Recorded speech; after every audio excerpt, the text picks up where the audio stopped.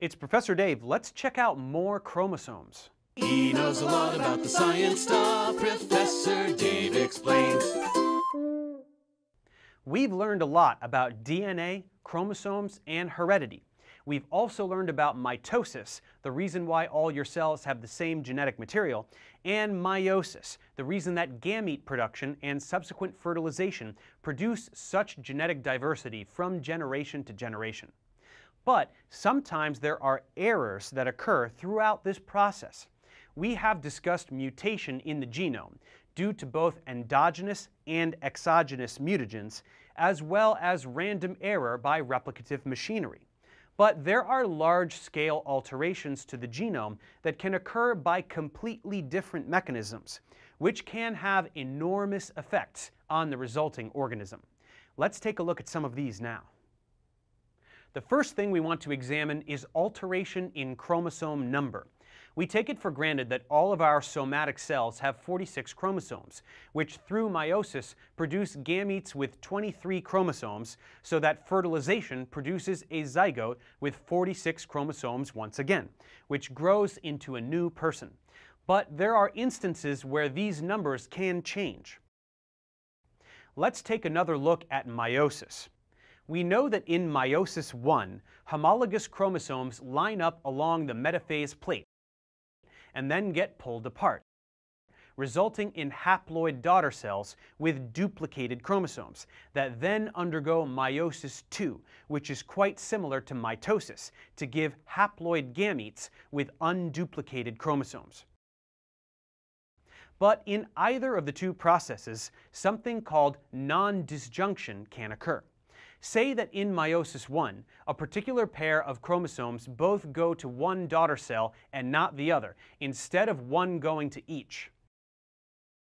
After meiosis 2, four gametes will result, two of which will have an additional chromosome, or n plus 1, and two of which will be missing a chromosome, or n minus 1. Alternately, say that in meiosis 2, a pair of sister chromatids do not get properly pulled apart and they both go to one daughter cell and not the other.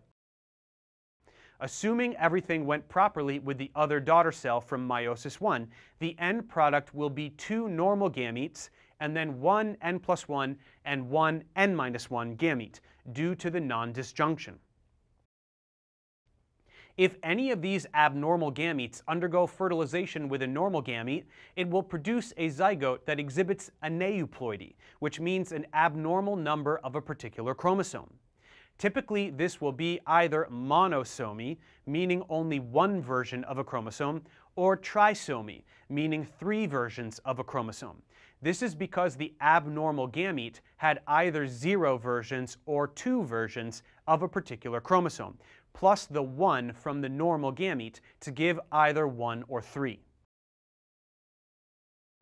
As the zygote divides and develops into a fetus, all of the resulting cells will have the same abnormality, which will result in huge problems. In fact, embryos with such abnormalities often result in miscarriage, meaning spontaneous termination of pregnancy. In other cases, a baby can be born, but with genetic disorders, such as Down syndrome or trisomy 21, Klinefelter syndrome involving an extra X chromosome in a male, or Turner syndrome, which is monosomy X in females. More on these in the upcoming pathology series. Now, unlike aneuploidy, which involves an irregular number of a particular chromosome, organisms can also exhibit polyploidy, which means more than two complete sets of chromosomes. Normally, our cells are diploid, meaning two sets of all 23 chromosomes, or 46 total. But organisms can also exhibit triploidy, or 3n, meaning three sets, or even tetraploidy, or 4n, meaning four sets.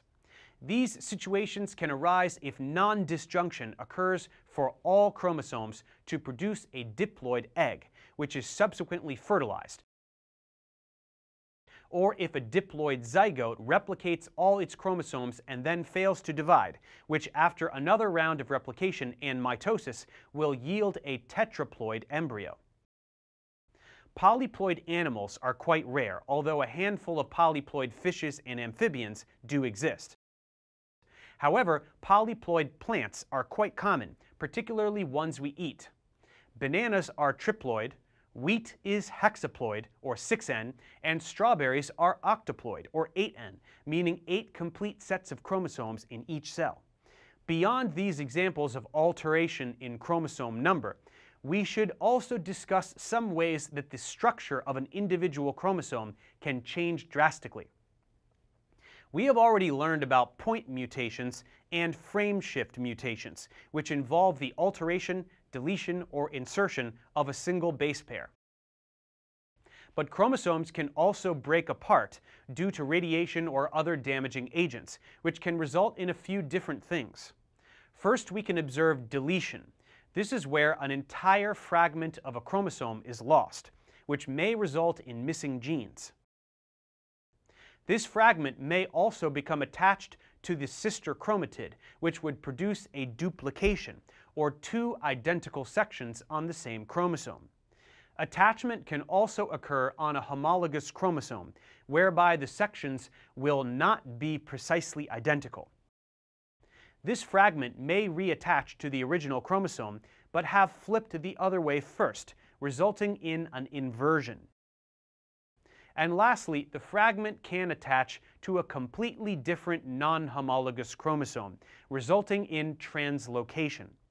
Deletion and duplication is relatively common during crossing over in meiosis.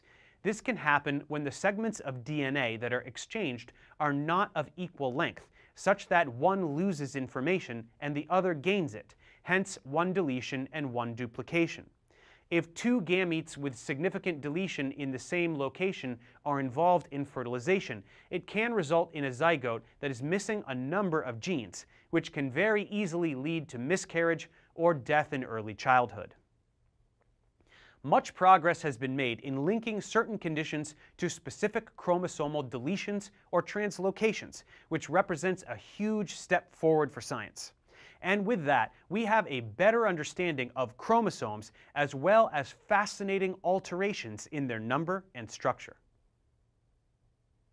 Thanks for watching. Subscribe to my channel for more tutorials. Support me on Patreon so I can keep making content. And as always, feel free to email me, ProfessorDaveExplains at gmail.com.